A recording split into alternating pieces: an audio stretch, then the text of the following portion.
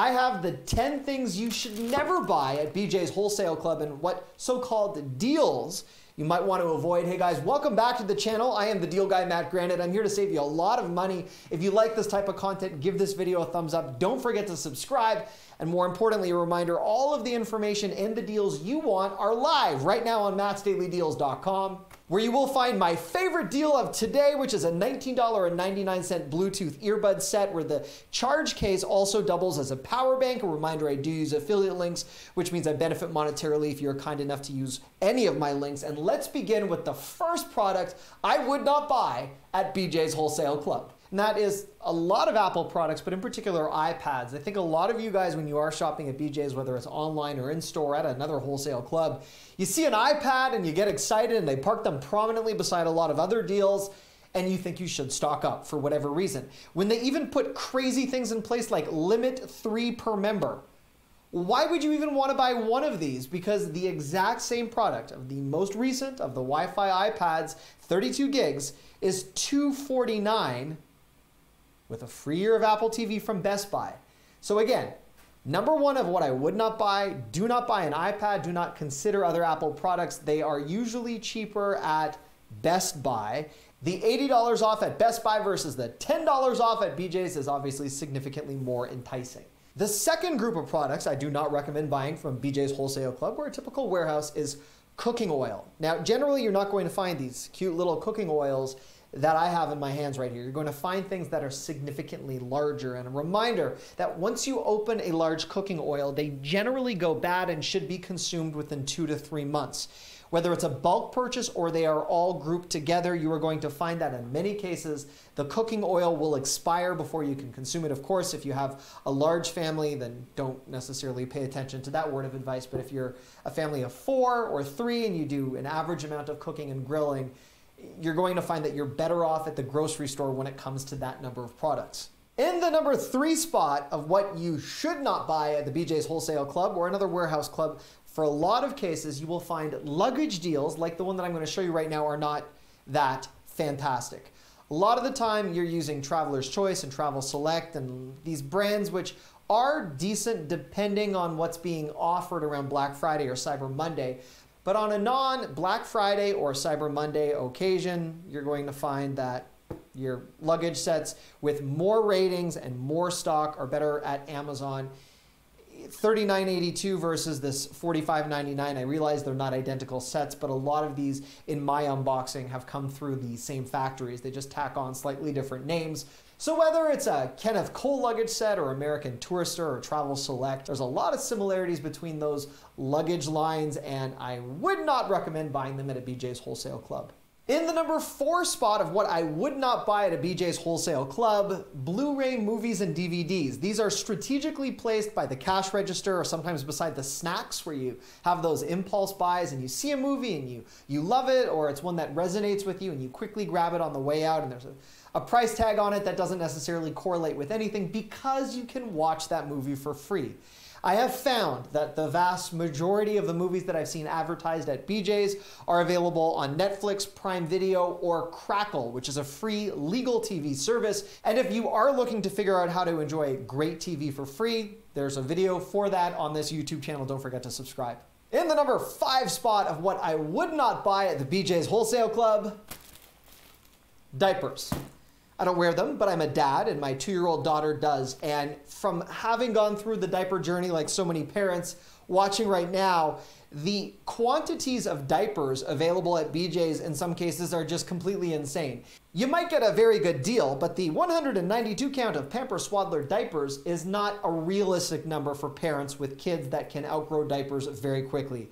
Their bodies change quickly, their sizing changes, and loading up on diapers that will last you, unless you have twins or triplets, probably well past the exact size you need. I highly recommend Walmart or some of the other diaper subscription services from Amazon where you will find comparable prices per count and then promotions, which are also great that don't require you to buy out every diaper in the store. In the number six spot of what I would not buy at BJ's Wholesale Club, bleach is on that list. And it's not quite the same as what I mentioned with regards to oil. Now, the bleach quantities are very large, and whether it's a laundry detergent like this or a bleach alternative or bleach itself, you're going to find that many of the coupons they pass along are also available on other websites.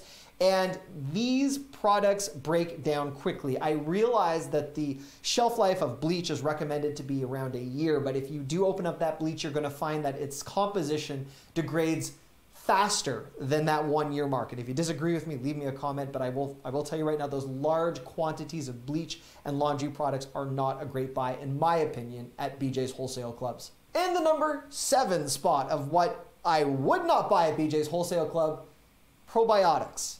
I'm not someone that enjoys probiotics on a regular basis, but I will tell you many of the probiotic products, not the vitamins, not the pills, but the actual Activia and other comparable products require refrigeration. So I'm going to tell you two things. For how I've mapped out BJ's, and I think there's more than 218 stores across the United States, they're not always in the most populated areas of a specific community or state. For a retailer to encompass that level of square footage, it's, it's usually cheaper outside of the metropolitan area. With that being said, it's a long drive for a lot of us. I've noticed that from the time you get the probiotic to when you go to the cash register to when you go to your car to when you finally drive home, you might have saved 10 cents but the actual product which needs constant refrigerating or a lot of refrigerating might not actually be what you want to take home. I also have some refrigeration concerns pertaining to probiotic products at different warehouse clubs, not BJ's actually. I've not seen this at BJ's, but by the time the product is moved from the stock room and then on its card and then it makes its way to the shelf and the aisles are much longer and they are huge vast areas for a product to travel to I have not seen constant refrigerating, and it's a little bit different from how supermarkets handle that. So just throwing that out there as a product you may not want to grab. And the number eight spot of what I would not buy at BJ's Wholesale Club, not necessarily this brand, but that was graceful. I look like a moron. Bread. This is what I tell you about bread. A lot of people get very excited over their trial memberships, which BJ's is very generous with, and sometimes it's the membership price you're paying or their savings that they impart. And you go on and you load up on all these things and you see the bread discounts. If you, for example, shop at Walmart, they heavily discount their one day old bread at the bakery first thing in the morning after it's been in circulation. And the other thing to keep in mind your grocery store and your supermarket, they have a lot more bread than a wholesale club in terms of turnover on a typical day. And with everything going on in the world right now and how people stock up in really different ways on bread than they ever have. Grocery stores do not know how to handle their inventory effectively. And I've noticed that the grocery store discounts are more aggressive than what's being offered at typical wholesale clubs, including BJ. So put that in the number eight spot of what I would not buy. In the number nine, do not buy at BJ's suggestion spot, I'm going to throw canned goods. Well, you don't actually want to throw them because they're they're heavy and they actually hurt when you drop them on your toe because you're running around your kitchen like a crazy person, as I am from time to time. But the canned goods, and this is actually a thing, have a very specific tie to your grocery store in terms of discounts. So the canned goods and jarred food come tied to an alliance called the Canned Food Alliance. And the Canned Food Alliance has a strong relationship with your local grocery store.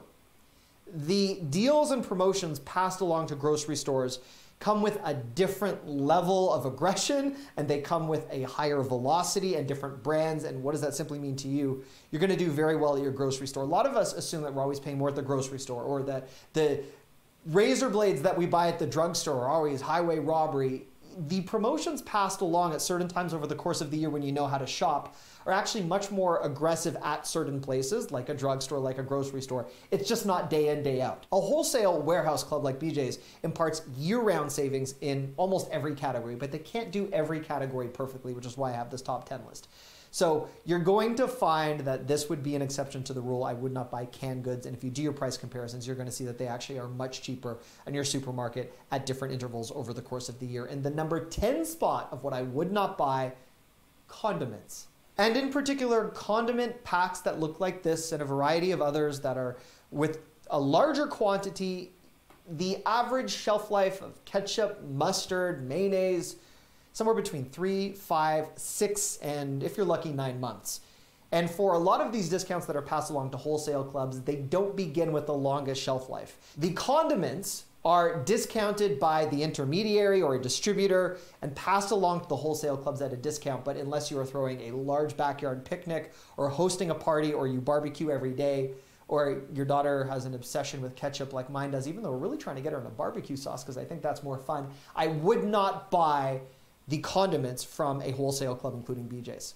And that is, that's a weird punch that I just did. That is that. I'm so awkward today. What's going on? That is my top 10 list of what I would not buy at BJ's. If you have a different store that you want me to investigate, a reminder I've done Walmart, Target, Costco, so many other different stores where I show you how to work the insider clearance coupons at Amazon, find hidden savings on different websites. Please Subscribe to this channel, turn your notifications on, give this video a thumbs up if you liked it, and please leave me a comment. I do read them, and I will make my next video based on your recommendations. It's so important that I'm working for you and your wallet, and I can't do my next video effectively if it's not for you guys watching and leaving comments. So thank you. I love you. Have a great rest of your week, and happy savings.